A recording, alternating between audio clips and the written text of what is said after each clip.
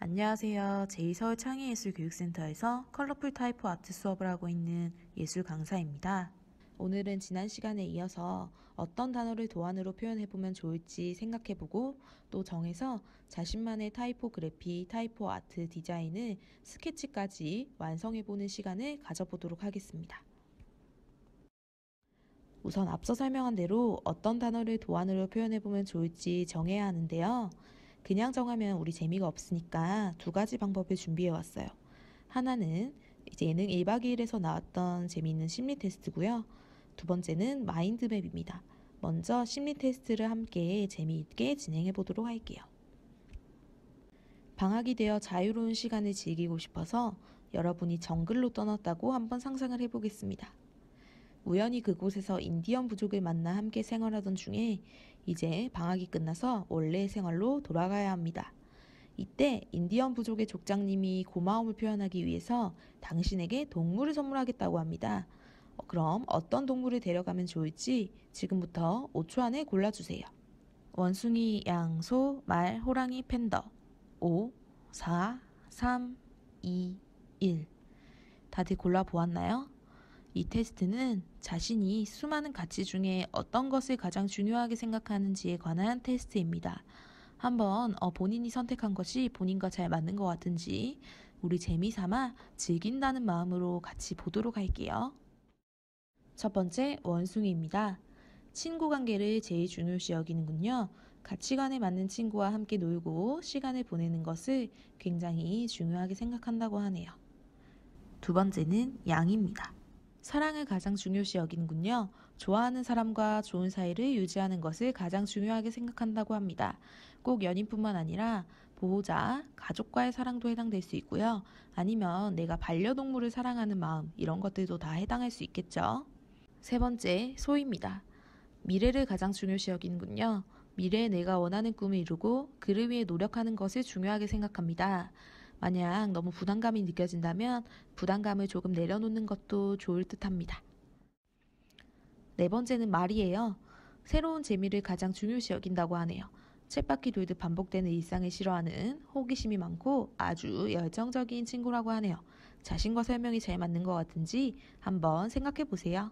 다섯 번째는 호랑이입니다. 자존감을 제일 중요시 여기는군요. 나 스스로를 존중하고 사랑하는 것을 가장 중요하게 여깁니다. 다른 사람과의 비교는 원치 않아요. 마지막은 팬더입니다. 성실함을 가장 중요시 여기는군요. 하고자 하는 일이 있으면 계획을 세워서 그 일을 해내는 것을 아주 중요시 여긴다고 합니다.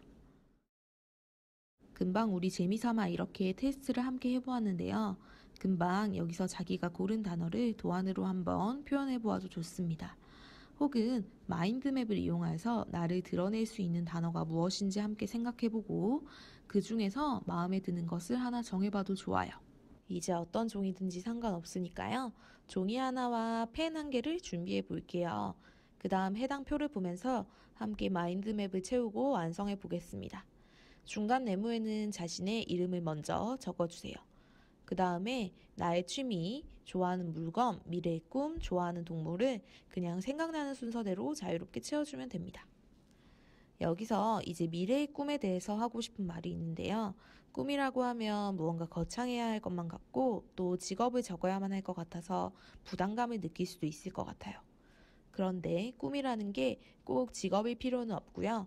그냥 시간이 조금 더 흐른 뒤에 내가 해보고 싶은 일 정도로 생각하고 가볍게 그냥 내가 정말 하고 싶은 일, 한 번쯤 해보고 싶은 일 없나 생각해보고 적으면 좋을 듯 합니다. 예를 들어서 여러분은 서울에 살고 있으니까 부산 바다 한번 가보기. 이런 것도 좋고요. 아니면 내가 꼭 100만 유튜버를 꿈꾸진 않더라도 그냥 유튜브 채널 한번 개설해보기. 이런 것도 좋겠죠.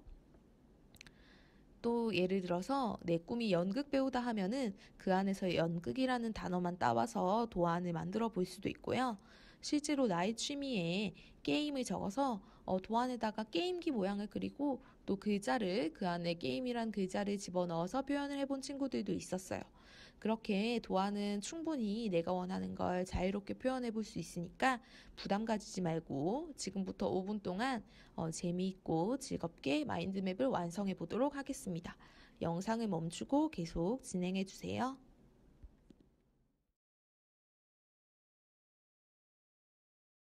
자, 이제 마인드맵을 다 완성해 보았다면 단어를 정해 보고요. 이제 그 단어를 도안으로 함께 그려보도록 하겠습니다. 먼저 자신이 선택한 단어를 그림으로 표현해 볼 건데요. 사진이나 일러스트를 인터넷에서 찾아보고 따라 그려도 좋습니다. 혹은 집에 있는 물건이라면 보면서 따라 그려도 괜찮아요. 토끼를 예시로 보여드릴게요. 토끼의 틀만 간단하고 아주 단순하게 그려줍니다. 상세하게 묘사할 필요는 없습니다. 그 다음은 그 그림의 틀에 맞춰서 해당 단어를 통통하게 넣어줄 거예요. 이때 끝을 둥그렇게 할 수도 있고 뾰족하게 할 수도 있겠죠.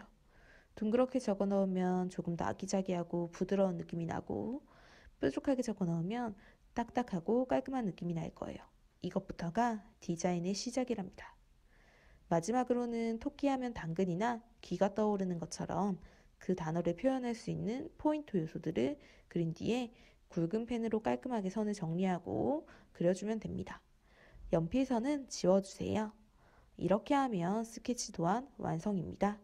영상을 잠시 일시 정지한 뒤에 나만의 typo art 스케치를 이어나가 보세요. 다들 잘 완성해 보았나요? 여기까지 완성했다면 다음 시간에는 이어서 Zentangle에 대해서 배우고 내가 그린 도안에다가 젠탱글과 나만의 그림으로 어, 우리 디자인을 더욱더 풍성하게 만들어서 나만의 타이포 아트 작품을 완성해 보도록 하겠습니다. 수고하셨습니다.